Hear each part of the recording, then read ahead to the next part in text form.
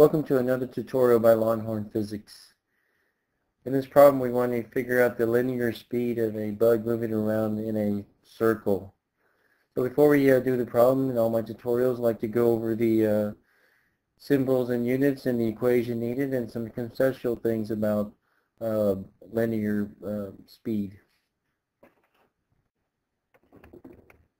There's some conceptual things about objects moving in a circle. One is there's a force required for this object to stay in a circle, and they call this a centripetal force. It means center seeking. An example of centripetal force would be a car making a turn. Uh, as the car makes a turn, the force of friction acting upon the turn wheels of the car provides the centripetal force required for circular motion.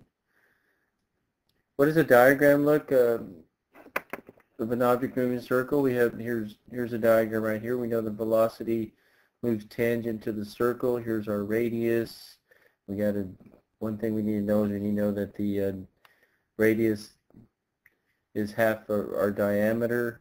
Uh, FC here stands for your centripetal force and AC stands for your centripetal acceleration. Notice they both go towards the center of the circle and your linear speed is tangent. How do objects accelerate? In the circle. Again, acceleration is a vector and both the force and the acceleration act towards the center.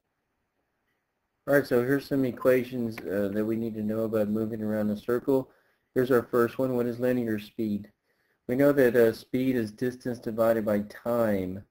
So where does the 2 pi r come from? We, the distance around a circle is your circumference and the circumference of a circle is 2 pi r. So here's a derivation of that.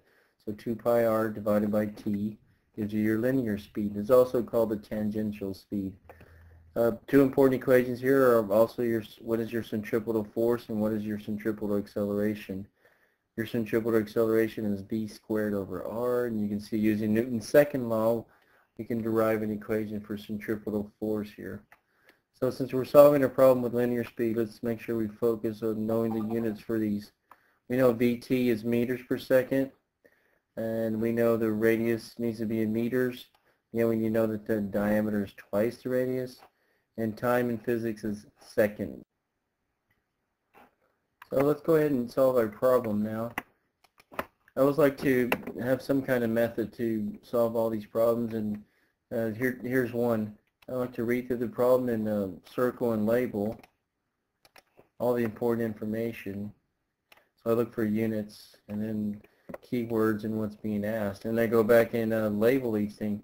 So it's impossible to do that unless you know what the units are and the symbols that match with the equation. We know kilograms is mass. And we know meter stands for distance. In this case it says the diameter. So I'm put that diameter. We'll use that for diameter and then here's our time. And then we're looking for a linear speed or tangential speed.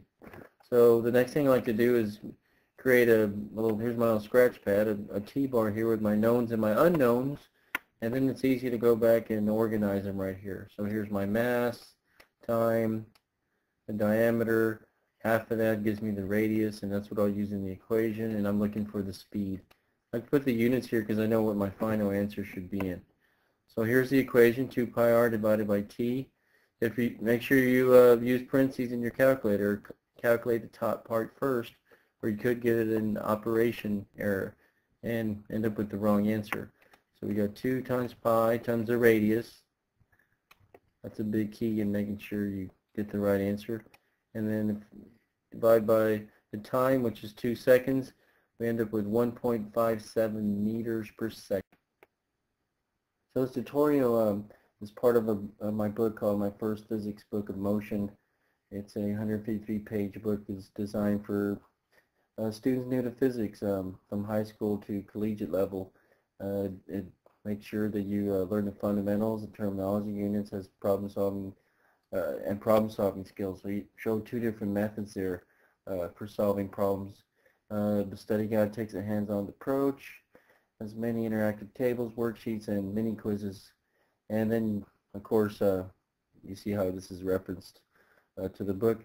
It's available at staarstudyguide.com or straight at, at Amazon.com. I guess typing these keywords would help you find it. But if you go to staarstudy.com, spelled with two A's there, you can link to Amazon. Uh, if you think you want to see more about the book,